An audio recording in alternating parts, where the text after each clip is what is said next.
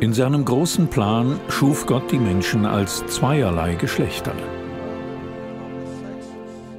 Diese Dualität findet in der Ehe Ausdruck und veredelt den Menschen.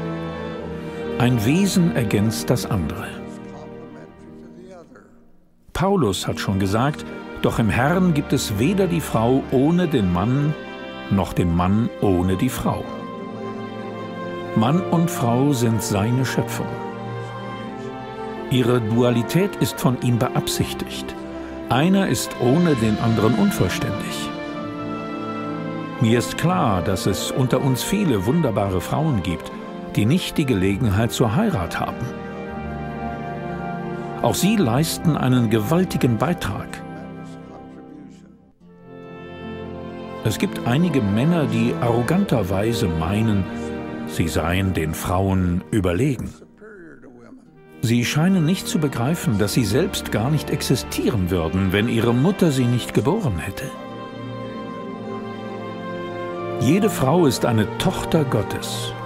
Man kann sie nicht beleidigen, ohne auch ihn zu beleidigen. Die Frauen in unserem Leben sind Wesen, die mit besonderen Eigenschaften, göttlichen Eigenschaften ausgestattet sind, die sie veranlassen, sich gütig und liebevoll um ihre Mitmenschen zu kümmern. Wir können sie dazu ermuntern, wenn wir ihnen Gelegenheit geben, den ihnen innewohnenden Talenten und Impulsen Ausdruck zu verleihen.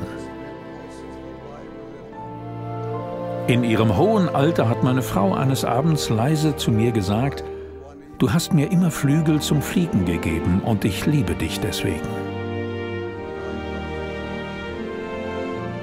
Frauen sind absolut notwendig im Plan des Glücklichseins, den der himmlische Vater für uns entworfen hat.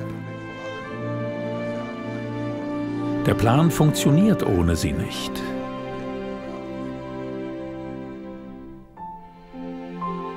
Wie dankbar bin ich und wie dankbar müssen wir alle sein für die Frauen in unserem Leben. Gott segne sie.